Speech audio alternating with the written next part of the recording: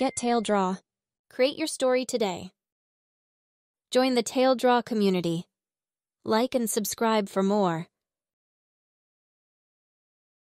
The Magical Journey of Remus and the Enchanted Chest.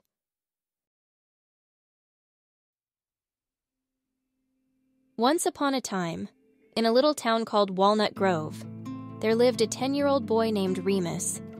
He was not like the other children. Remus had a gift.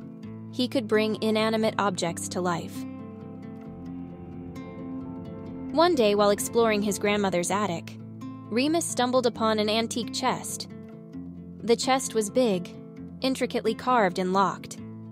Driven by curiosity, Remus touched the lock and, to his surprise, it clicked open.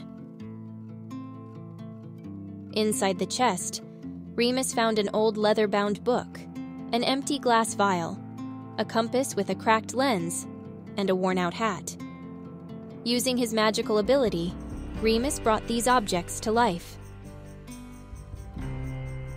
Hello, said Remus. My name is Remus.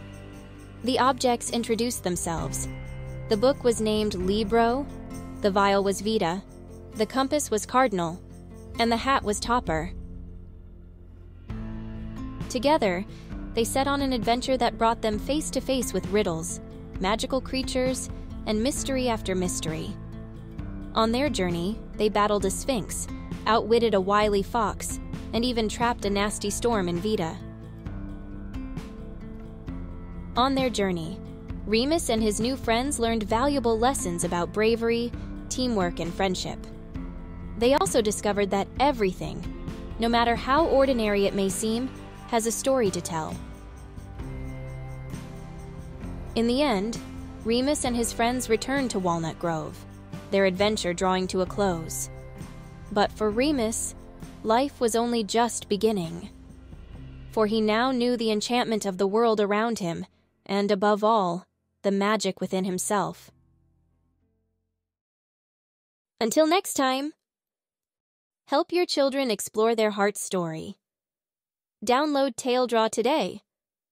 Available for all audiences on Google Play and Apple App Store.